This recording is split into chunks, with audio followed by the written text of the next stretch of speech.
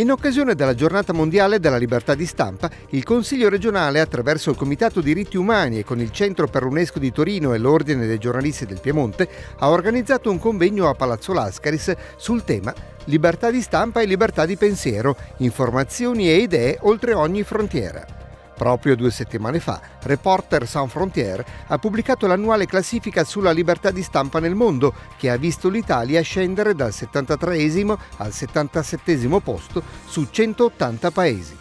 Visto cosa sta succedendo nel mondo, oggi è difficile fare l'inviato. Sì, eh,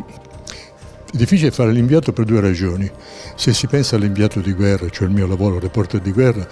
non vi è dubbio che oggi sia praticamente impossibile perché non vi è alcuna forma di protezione rispetto a ciò che sta accadendo sul territorio, nel senso che un tempo il reporter era considerato neutrale, un osservatore e null'altro, oggi è diventato invece uno dei protagonisti del conflitto perché legittima con la sua uccisione, col suo sequestro, legittima le forze in campo e quindi viene usato come strumento per l'attività militare. Per quanto riguarda il ruolo dell'inviato in generale, che sostanzialmente poi è il cronista che cerca di entrare all'interno dei fatti, oggi è diventato molto più più difficile perché tutti sono consapevoli della centralità dell'informazione e quindi vi sono mille forme, le più sofisticate, di tentativo di controllo per rendere funzionale il suo lavoro rispetto agli interessi che sono in gioco. E come sempre la misura del reale va cercata da chi è testimone del fatto. Quanto più il giornalismo si, si allontana attraverso le strumentazioni elettroniche dall'identità della realtà, di tanto il suo lavoro diventa secondario o comunque funzionale.